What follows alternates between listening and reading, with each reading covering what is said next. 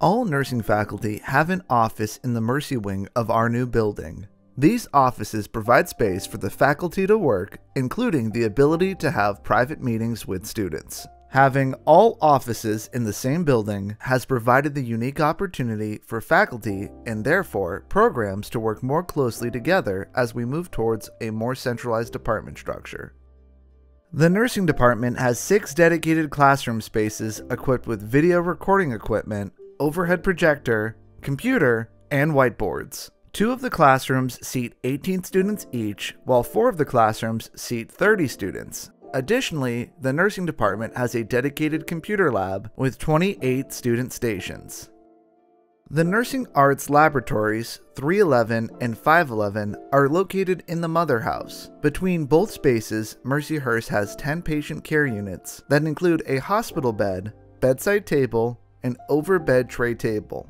There are simulated oxygen, suction, and medical gas hookups above each hospital bed. Students have access to medical supplies needed for use in the lab. We utilize medium fidelity human simulators, Laerdal Adults Nursing Annes with a corresponding SimPad. The SimPads utilize easy to operate scenarios and customized vitals with touchscreen capability.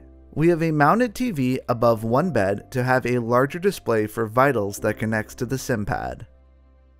We have two control rooms that are between the simulation suites. The control rooms are equipped with a two-way mirror for observers to view activities. We utilize KB port cameras and microphones for viewing and communicating from the control room into the simulation suites. In addition to viewing the simulation through the cameras, we also have the capability to record and dictate notes on the KB Port software. The simulation coordinator utilizes laptops that communicate with the Laerdal high fidelity simulators in the suite, such as changing vital signs, speaking through the simulator, and playing various sounds such as coughing, screaming, and difficulty breathing. We have two debriefing rooms with laptops and flat screen TVs to allow the simulations to be viewed live or played back from a recording. The debrief rooms are set up with oval conference tables and chairs to promote communication and collaboration among the students. We utilize this space for pre-briefing activities and review, watching the live feed during the active simulations, and following the simulation for the debriefing sessions. Our adult simulation suite is a simulated hospital room that is equipped for video recording and monitoring through the KB port.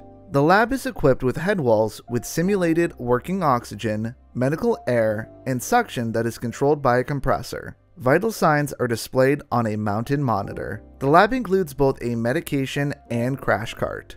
Laerdal's high fidelity SimMan 3G is utilized in this space. This simulation suite includes equipment for video monitoring and recording by KB Port. The lab is equipped with compressor controlled simulated oxygen, medical gas, and suction outlets.